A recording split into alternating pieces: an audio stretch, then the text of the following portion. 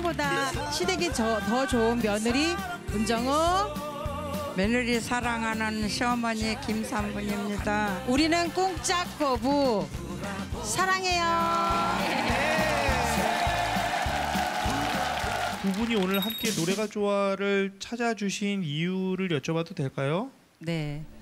어, 요즘에 고부 갈등으로 인해서 힘들어하시는 분이 되게 많은데 어, 저희는 어, 그런 고민 없이 너무 행복하게 고부 사이를 지내 어, 지낼 수 있게끔 네. 해주신 저희 시어머님을 어, 자랑도 해드리고 싶고 그리고 어, 돈으로 효도를 해도 좋지만 그보다 더 중요하게 한 순간 정말 추억으로 선물할 수 있는 추억을 이 순간을 남기고 싶어서 나오게 됐습니다. 네. 그래요. 이제 우리 며느님 입장에서는 그러하시고 음. 시어머님 입장에서는 지금 다리도 불편하신데 며느님 때문에 나오셨대요. 음. 어머니 어떤 어떤 마음으로 나오셨어요? 노래를 잘하니까 자랑하고 싶어서 나왔습니다. 며느님이 예, 며느님이 노래를 잘하셔서 예. 어느 정도로 잘 맞기에 전국적으로 이렇게 TV에서 자랑하려고 나오신 거예요? 그 뭐 잘 맞는 것들이 한두 가지가 아니겠죠?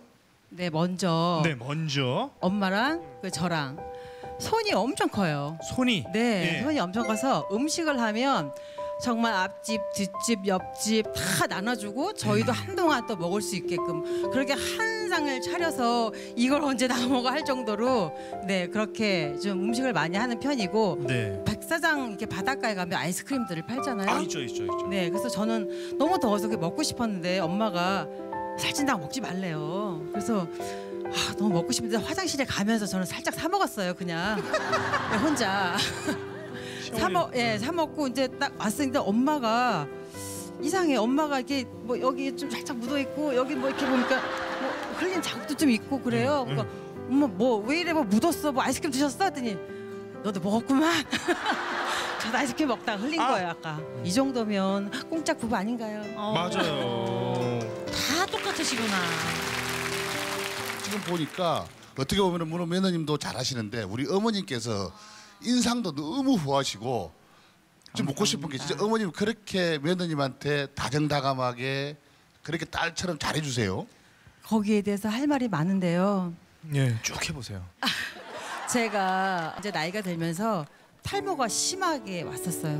네. 그 남자들 머리 이렇게 벗겨지는 거 있잖아요. 어. 똑같이 두피가 다 보일 정도로 머리가 다 빠졌어요. 그래서 정말 힘들고 정말 스트레스 많이 받고 뭐 밖에도 못 나가고 암울한 생활을 하고 있었는데 엄마가 이 사방팔방의 머리에 좋다는 뭐 이런 거 약재들 뭐 손수 막 이렇게 알아보시고 가, 갖고 오셔가 직접 약을 만들어서 저한테 주시고 할 수 있어. 괜찮아 괜찮아. 이렇게.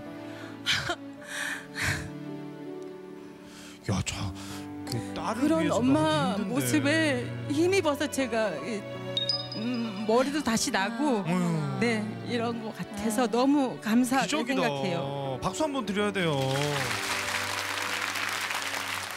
어머님께서는 이제 며느리를 얼마나 아끼시는지 저희가 이야기 들어보면 알 것 같은데요. 또 어머님께서 당신이 그렇다 이렇게 말씀도 안 하시잖아요.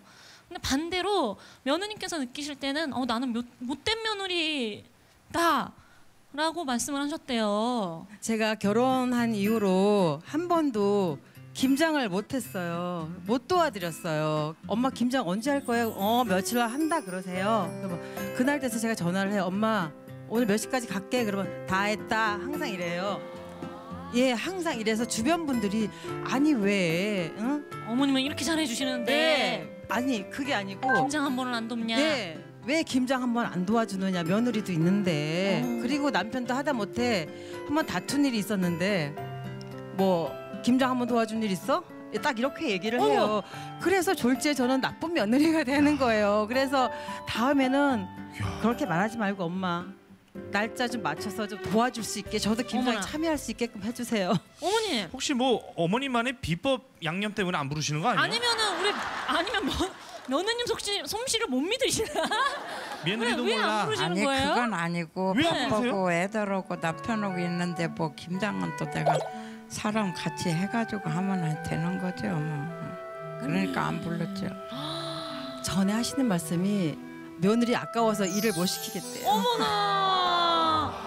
사랑하신다. 무한 사랑, 무한 신뢰, 무한 사랑 한 마디씩 해볼까 싶은데 어머님이 먼저 우리 며느리에게 진실된 얘기 한마디만 해주실까요? 착하고요. 또 남편 내조 잘하고 자식 잘 길고 살림 잘하면 되는 거 아니에요? 노래 잘하니까 그냥 자랑으로 나왔어요. 아이고 행복하게 저를 잘 그냥 살면 되는 며느리 거죠. 자랑으로 그냥 예. 행복한 그걸로 만족하시는 거예요. 예. 행복하시고 노래를 도대체 어느 정도 하시길래 이렇게 어머님이 어떤 예. 노래 준비하셨어요? 어, 이 노래는 저희 친정 부모님들도 워낙 좋아하시고 그리고 지금 시엄마도 너무 좋아하시는 곡이라 칠갑산을 준비했습니다. 아. 실갑산 박수로 노래 청해 주시기